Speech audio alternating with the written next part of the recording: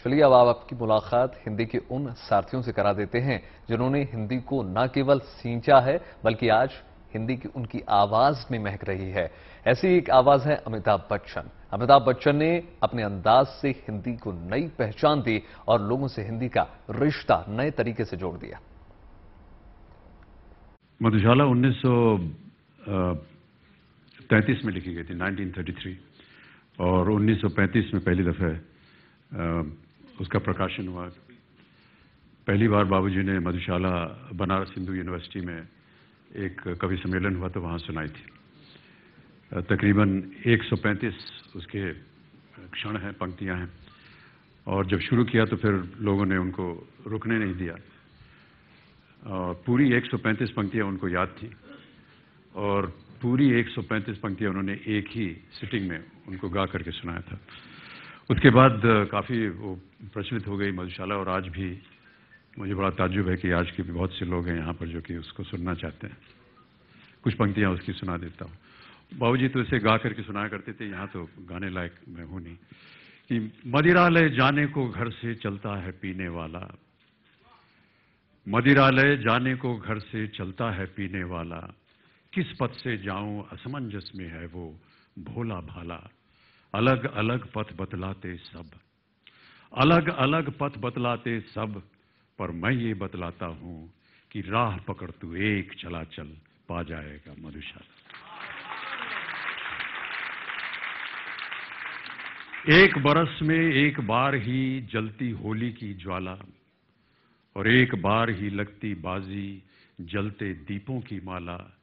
दुनिया वालों, किंतु किसी दिन आ मदिरालय में देखो कि दिन को होली रात दिवाली रोज मनाती मधुशाला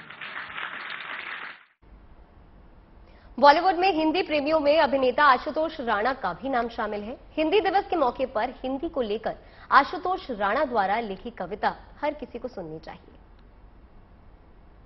मधुशाला 1933 में लिखी गई थी 1933 और 1935 में पहली दफे उसका प्रकाशन हुआ।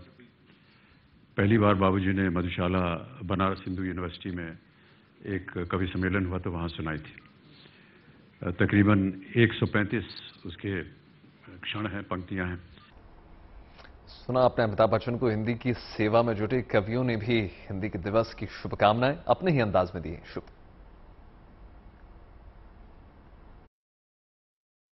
हिंदी में है गंध देश की मानो तो चंदन है। हिंदी में है गंध देश की मानो तो चंदन है। देवों की भाषा से निश्रित भाषा का वंदन है। देवों की भाषा से निश्रित भाषा का वंदन है और माँ बेटे का रिश्ता जैसे हृदय प्राण का होता माँ बेटे का रिश्ता जैसे हृदय प्राण का होता, मुझको माँ जैसी लगती उस माँ का अभिनंदन है। मुझको माँ जैसी लगती उस माँ का अभिनंदन है। एक बार पुनः आप सभी को हिंदी दिवस की बहुत बहुत शुभकामनाएँ।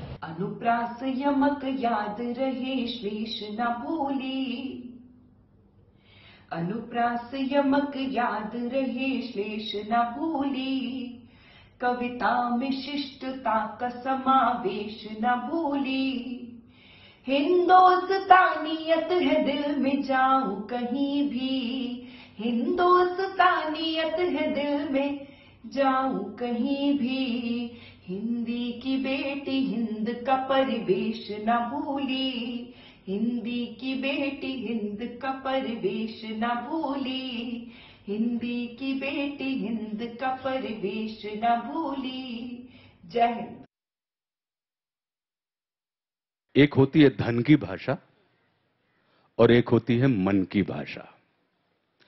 तो हिंदी जो है, वो हमारे मन की भाषा है। हिंदी के लिए एक कविता लिखी थी कि अंग्रेज़ी जो केवल धन की भाषा बोल सकती थी रखी बाज़ार में वस्तु का केवल मोल करती थी जुड़ी वो काम से इसलिए बनी वो मान की भाषा। बनी वो आज पूरे विश्व के अभिमान की भाषा। और हिंदी? हिंदी क्या थी? कि हिंदी थी जो मन के बंद ताले खोल सकती थी। हमारी आत्मा और ज्ञान का पथ बोल सकती थी। बना के राज की भाषा बहुत अच्छा किया तुमने। हटा के काज से इसको बहुत गच्चा दिया तुमने। और बना ले फिर से हम इसको व्यापार की भाषा, बना लें फिर से हम इसको घर परिवार की भाषा, बना लें फिर से हम इसको अपने प्यार की भाषा। क्यों? कि अगर हम चाहते हैं हो कदर हिंदी की पग पग पर। उठो, जागो, करो हुंकार, पहुँचा दो इसे न पर। अगर भाषा मरी तो तुम भी प्यारे बच नहीं सकते।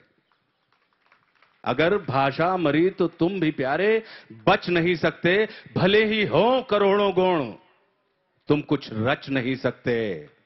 महज भाषा नहीं, ये माँ हमारी हमको रचती है।